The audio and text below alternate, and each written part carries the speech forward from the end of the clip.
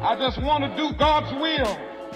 The kind of revolution that the world needs is a Christian revolution. If you want a miracle, you've got to expect it to happen. You are the recipients of God's grace and God's blessings, and you rejoice in that reality. Welcome to Life Today Live. It's Friday, and I've got something for your weekend that's going to make you smile. And if you if you can't get out this weekend to see it, or if it's not in your area, uh, you can always find out when and where you can see it because it's a wonderful movie called The Hill.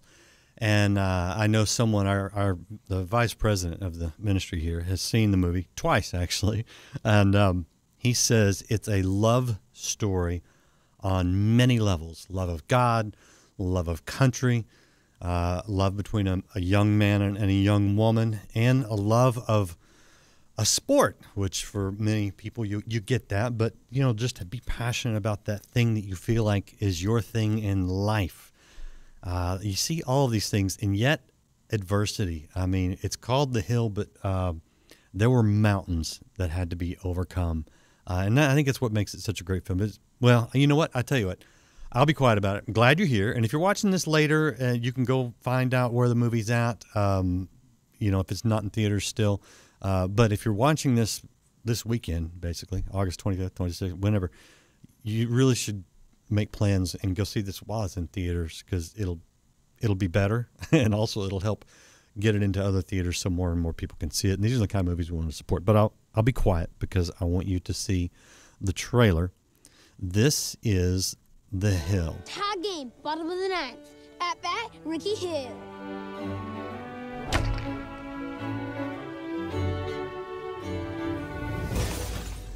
My gosh! What did you do? Let's go!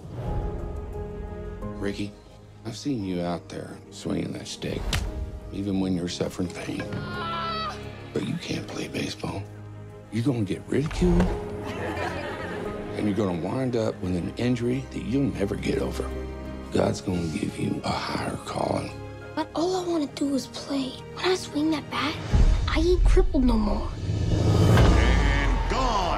And gone, senior Rickey Hill. He did four homers in one game. Son, you might be better, but you are not healed. Your bones are rapidly depleting. It'll be a miracle if you ever walk again. You seen this?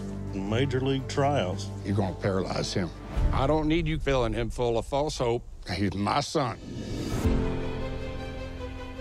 Rickey, baseball had to end eventually. Time to figure out what you're gonna do with the rest of your life. First time you ever talked to me like a man is to tell me to forget the only thing I ever loved. What has gotten into you? He's special. They said he will never walk, and he ran. How many miracles do you need? You're planning to join the elite. I'm one of the best hitters you're ever going to see. But bad leg could cost a team wins and money. It's all stacked against me. If you don't try, you're gonna die inside. I want my dreamer back. All your hopes, I cannot do this alone. dreams, It's your time, Rickey! determination, and sacrifices have come down to this.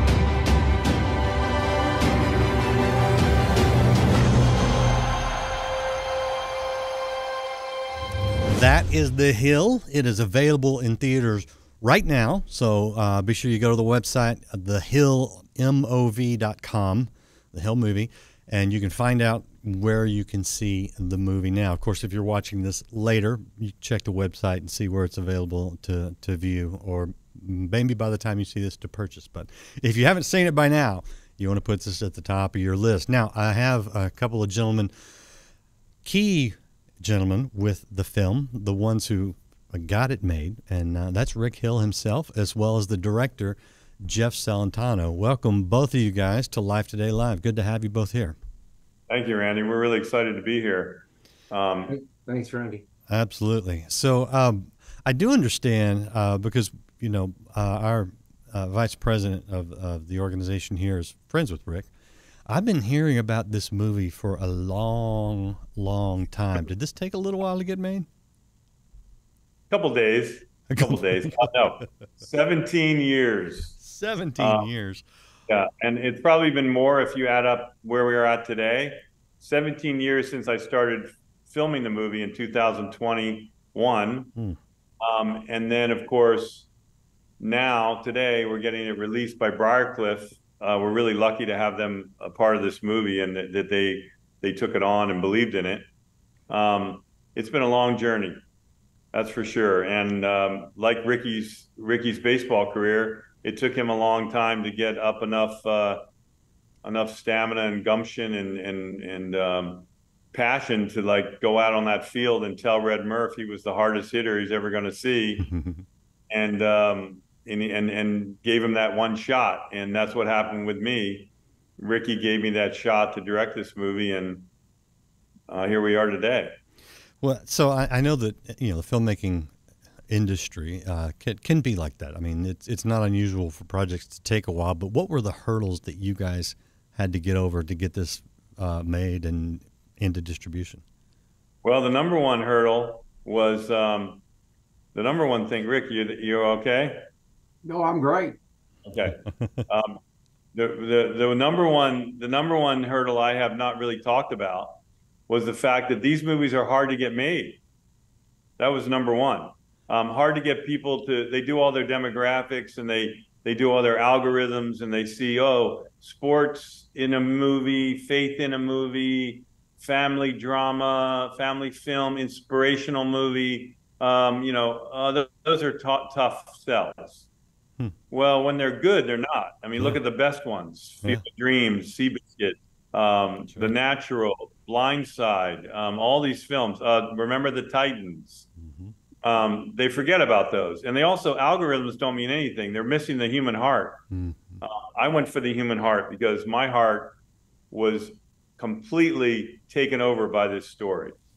From the first moment I ever read it, I was hooked. I, I had to get this movie made because of what it did to me. Mm. Uh, it made me feel like a little kid again. It made me feel like I could do anything, you know? Mm-hmm.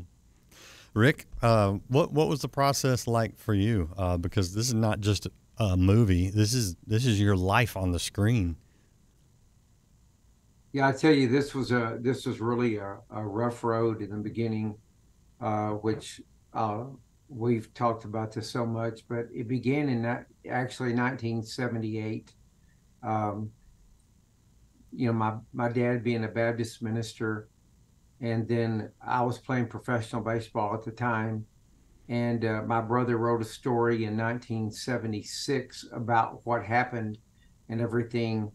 Uh, the toss up between me being a minister and also me playing professional baseball and then how hard it was to get you know to get a contract to get it to get a sign a contract to to play professional baseball. So my brother wrote this big story and a guy at our church turned around and he took it to hollywood. And from there on uh, i got offers of wanting to buy the story a man which a man that started it from our church. And then uh, um, we had to go from there and I, my father became ill at the very same time and uh, my so did my mother at the same very time and uh, um, and it was just a, a, a process that I had to say no because I couldn't do this with my father and my mother both ill at the hmm. same time. My dad with terminal cancer, mm. my mother with a brain tumor at the same very time. So we ha- I had to say no and just back out of it and not have anything to do with it. But it had called on me several times during over the years, and I just said no because I was not even interested in baseball at the time anymore.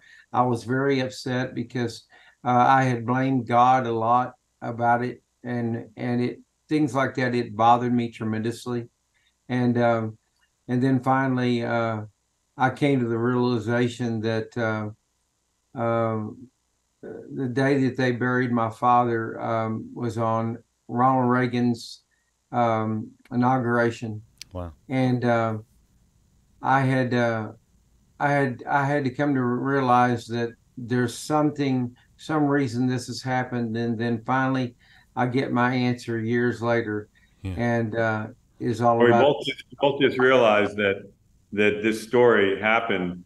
Uh, the movie happened so Rickey could tell his story. That's why he went through everything he went through. Yeah. Yes. Still held his faith up through all that and everything he's been through.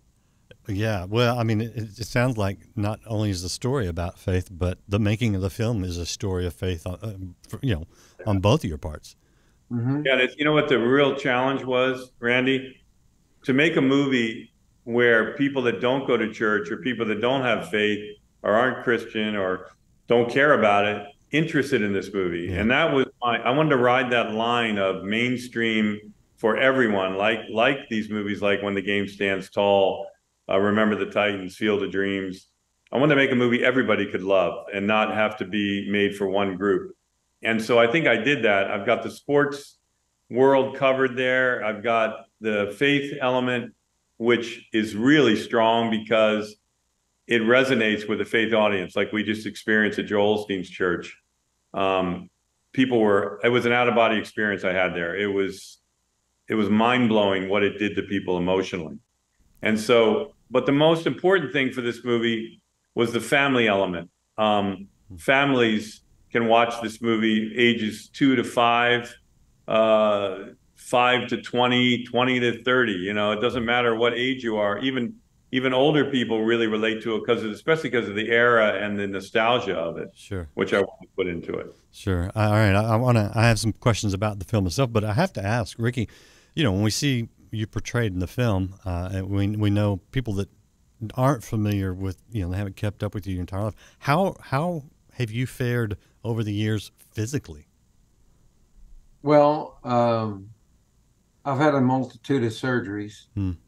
um, because when I collapsed as a professional, uh, I had surgery immediately where I could was able to walk, at least walk, Hmm. and then it was still a battle. Um, um, Do you, do you have chronic I- chronic pain? Yeah. Is chronic pain a oh, problem? oh yeah, I've lived, I've lived, I've slept most of the time on the floor with my legs up on the bed most of the time. Oh. And, uh, but, but it's been a battle with my spine because when you're born with no disc in your spine, it makes it pretty difficult to swing a bat, golf club, swing whatever. It doesn't matter. Huh. To, to play any sport, you have to, you have to weather and, and bear the pain. Hmm. And I did. I did, and uh, I did it as a professional ball player. I I made it two more years, and they said that I that I would, and so that was accomplishment that I was really proud of, and uh, uh, because they said I would be paralyzed, uh, one day I would be. My grandmother and my great grandmother were paralyzed with the same disease Mm. uh, at a very young age, too, by the way. Um, but yeah, it was a pure battle. Each and every day, it was a battle Hmm. that I never even told anybody about. I just kept it to myself. And uh, when I had the surgeries, I didn't even let anybody know about the surgeries, um, other than my family. My Yeah. family knew all about it. But saying that, it was a fight every every day. Wow. Wow. Oh, geez. Okay. Um, I want to come back to you in a second, Rick, but uh, um, I want to hit a couple of points about the film. Uh, one, Jeff, is the the cast. I mean, you, you're you got a strong cast. How did you guys pull together? You know, Dennis Quaid and some of the other people in that because that's that's an accomplishment in and of itself. Well, I knew I wanted to get a great cast from day one, and I had to get a great, casting director. So I got Rick Montgomery interested, who did Green Book and just won the Academy Award. And I figured he was the perfect person. He was at the top of his game, and he's a great guy, and he understood the script. He actually made me go back after the script was done and fix all these little things in it that he felt were not correct and not not making it a perfect script. And nobody else saw it. But little things like Rickey was called Rickey and then Rick, he wanted to be consistent the whole time because he said, um, you get one shot at a movie star and the script's got to be perfect. So I set out and I had Dennis Quaid in my sights from day one. had the, he was a full circle person, um, a man. He, he, he, he had the quality of strength, toughness, but also compassion and warmth. and he was funny, and he had that great grin and smile that just warms people's hearts. And he had been in the rookie, and he was just a, a guy that everybody still loves today as much as they did back in the day. Yeah. So I got then I wanted uh, the wife to be Joelle Carter because I always was a fan of hers from Justified, the TV series. She played Ava Crowder. Oh yeah. And Scott Glenn, yeah, Scott Glenn was perfect for Red Murphy. Even looked like him. we thought about Duvall at one time, but Duvall was a little. Uh, he was he was not you know doing well at the time. Yeah. And and then Randy Houser, uh, Dennis re- recommended him. He said, "What about Randy to play Red?" And I said, "I love Randy Houser's music. He's a huge country star, and I always wanted a country star in this movie somewhere to reach that audience." And so Randy loved it and came aboard, and and then the kids, they were a whole nother uh, extravagant uh, casting situation. By you know, we searched all over the world for Little Rickey. Yeah. We got him from he came out of California just by sheer luck, but he had never done anything. He never acted a day in his life. And his Really? father- yeah, his father was a film director and a TV director, and that's what sold me. I, I called Michael and I basically auditioned the father. I said, if you can teach, get this kid to be perfect with his dialogue and come to set ready, I'll hire him. But he's got to be good. but his innocent quality is what made that part work so well because he's basically acting the truth of a little boy. Yeah. You know, and funny enough, um, uh, Bonnie Bedelia uh, was very interested in playing the grandmother, and I always thought of her as like a pretty younger lady. Yeah. And I never saw her in her original look. She came, you know, she came out of the makeup chair with her full makeup and hair. and then one night I saw her in the hotel, and she said, "Look, Jeff, I'm actually cute still." and she was she was looking just like she used to look, even almost back to the day of, of Die Hard. You know. Yeah. So she really pulled that part off. Oh, Um, and then and then the the, the girlfriend, um, and then Colin Ford, of course, was amazing. Um, we Dennis and I auditioned him out of three guys I picked, and Dennis hands down said, "I don't think we need to look anywhere else." And I said, "Yeah, I had seen Colin in um, We Bought a Zoo with Matt Damon, Oh yeah. and he he really intrigued me, and uh, he had the qualities I was looking for. He's also um, a Christian kid with a pure heart." Hmm. um, so humble and sweet. You know, I don't have to knock him down a notch. He's always like right there. That's great. We become really close. And um, it was just an unbelievable cast, as you said. Not only the fact that they're great actors, but they had a chemistry on set that made them look like a tight knit family. You never doubt it. The three kids were hanging out so much that I had to break them up all the time. and the older kids did the same thing. They were hanging out all the time. That's and um, Sienna, who played the, the the the girlfriend, who was a magic to me, she came from my friend Jeff Goldberg, who's a big manager. He suggested her, and when I saw her, I was like, "Oh my God, she's Gracie." And she hadn't done anything either. She'd done a couple little things. Love it, love it. Well, I mean, this is this is the film right here uh, we're talking about. In case you're jumping in here, The Hill is the name of the movie. You can go to thehillmove.com. Uh, and like I said, it, it's it's a great cast, a great story, one that everybody will enjoy. Uh, and even if, if you're not a sports person, you know, um, it's a it's it's way more than a movie about baseball. In fact, that's sort of just the the back. I mean, it's an important part of it, but I mean, this is just one of those films that just kind of just hits all those great points. Uh, and and based on the true story of, of Rick Hill. Rick, um, I have a question for you uh, because I know this has been a long, a long journey for you. How did it feel the first time you sat down, maybe even with an audience, or maybe just recently, like you? I don't know if you were in Houston for the screening, but first time you sat down with an audience, saw the film when they saw it, and got to see the audience's reaction to your story being told on film. What was that like for you? It's something that's never ever happened before, of course. Um, probably the biggest, probably the biggest element of my entire life, and kind of kind of brought back some baseball days because, um, you know, playing in front of large stadiums and large crowds and things like that, and uh, getting chills, you know, and, and feeling very very powerful about uh, a ball game. I felt like I was back in. I feel like I was back in a, a ball game again, and uh, it's a great feeling, especially the way expressed uh, the, the note everything of my father and my mother and my brother and sister, and watching it there on screen is like you can't even explain it because how do you touch it? It's it's so far out there that it's just hard to believe. Uh, well, Rickey's being very humble, Randy. He cried his eyes out. Did he? Good. recently, the whole time, and even up on stage when we had to talk, he couldn't. He didn't have a dry eye. He couldn't stop, and uh, the audience felt it, and they also were just embracing him. They stood up and gave him a standing ovation. Oh. And and I think he just saw. He just threw out the first pitch at the Rangers game last night. Oh yeah. Um, and was on the field with the team, and uh, they were all emotional over it, and uh, just the trailer. Wow, wow. Uh, and the Rangers got some good pitchers, so you're in good company this year. Finally, um, but but Jeff, for you, I know it's it's a whole different experience. You know, it's it's Rick's life up on the screen, but it's your it's your baby in a sense from an artistic standpoint up on the screen. How did it hit you watching it? The same. Yeah. Pretty much, um, it's my life up on that screen too because of all the time I put into it. Um, it's hard to describe how that feels. I was at that screening, the same one that Rickey was emotional at, and I wanted to get up and leave because I had seen it so many times. Yeah. But the first five minutes, at the audience's reaction, I couldn't leave. Yeah. And I, I told the lady Jacqueline that runs Lakewood Church's uh, screening and, and, runs the church, who's the uh, uh, sister-in-law of Joel Osteen. I said, I have never experienced anything like this in my life, mm-hmm. and I can't leave the theater. Those people are cheering over every home run he hits, mm-hmm. and and crying over every emotional thing he goes through mm-hmm. with him.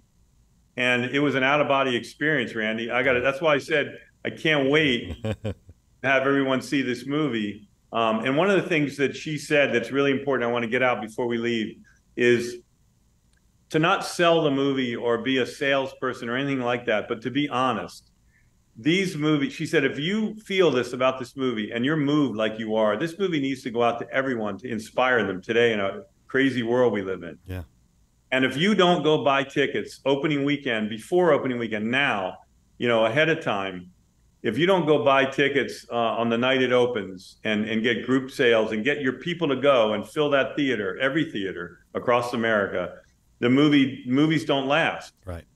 They they get pulled and and they she said go out there. I'm supporting you to buy tickets. And I thought that was such a cool thing to say because instead of selling something to somebody, it's saying if you love this movie and you're inspired by it, the only way you're going to see it for years is to go out and support it. Yeah. Yeah. That's... TheHillMove.com, thehillmov.com is where they can get tickets now, and The Hill Move on Instagram, The Hill MOV on Instagram. Okay, yeah, good. And I don't know what the the pre-sales ended up being like, but the film is is, is open now, and that may not be in your area, but either way, right. you can go you can go onto the website uh, and find out where you can see it. If it's in your town, go see it this weekend. If you're watching this you know, uh, August 25th, 26th, around It's selling out in a lot of places now, which is funny because I never bought tickets in advance for movies yeah. until recently when I saw that like Sound of Freedom Sound was Freedom. selling out. Yep. I wanted to go see it before everybody else told me about it. Well, and you're you're right. I mean, because we saw that with the Sound of Freedom, by the way, which uh, people were buying tickets in advance and then seeing it in the theaters early, and it kept it going. It kept that's right. how you keep movies in theaters so more people see it. Is not go well, I'll go see it in a couple weeks May not right. be there in a couple weeks, but if you go see it now, it'll be there for other people and other cities down the line. So it really is. I mean, you know, uh, Jeff's not just trying to sell you on the action. This is how the film industry works. So if you're watching this, you know, today, right, you know, as, as this we're on the air with this, um, go, go get tickets for this weekend. At least during the week, perhaps next week. Even if you can give them away to somebody, say, "Hey, I got a couple tickets, I can't go." here you go. You're, I know you're going to love this film. That, that, that's how we get more of these uh, in in the pipeline. So it is important on that aspect. I have one last question for you, Rick, uh, and and I mean I know there's there's a lot, but if you could pick, what's that one message that you hope people walk away from seeing your life story on the screen and take home with them? What what message would that be? Well, uh, I've had that question several times. Um, you know, I've always always wanted to uh, have two things working for me at one time. One was people knowing that I follow Christ, mm-hmm. and uh, and that you know miracles do come out of things uh, when you pray. Because a lot of times people's wondering why their prayers doesn't get answered, and then why some people's does. And uh, and my, as far as mine is concerned, I hope that they carry this out. That if they're not if they're not a believer, at least give it a, give it a shot. Take a good look at what you're what you're doing with your life today.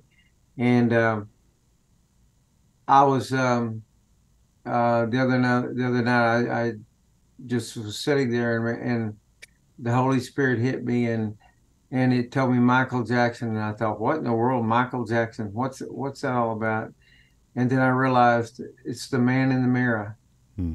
You got to look at that man in the mirror and you got to see what uh about changing your ways. Yeah. And then digging and i'm hoping that the people that look at themselves and take this take this with them when they walk out that door and, and realizing that they have a chance because um, i think that i think the time is close. I think you do too. I believe we all do. And so i hope they take it with them yeah yeah Good man. I appreciate both of you guys, your time, your oh man, your persistency and, and sticking with it, getting this film out there. Thank you both. Thank you, Randy. Thank I really you. appreciate. It. I just hope that people uh, get super inspired. And uh, my goal was at the last moment they walk out of that theater, they're they're high. They're just high on the movie itself, and they feel so great about their lives because that's what I've seen happen to people. I can't tell you that's what I made. I can only tell you that's what I see I'm a, I'm a person that doesn't believe in talking. I believe in doing. Mm. That's why I had to show Rickey my my vision of the movie before they'd hire me instead of talking about it. So I made a movie that I made, and what I'm seeing in the audience reaction is shocking, and I hope that everybody gets that same inspiration. Yeah. Well, you can do it now. You can do it this weekend. Go check out the Hill, the website, thehill.mo, hillmov.com. Uh, it looks just like this, and go get your tickets. You'll enjoy it. Take some friends with you. Make an event of it. Uh, you won't regret it. You will be inspired. And as always, I appreciate you guys being here. Hit share and do it right now so we can get the word out as much as possible on this film. And if you haven't liked, followed, or subscribed, I always invite you to do that.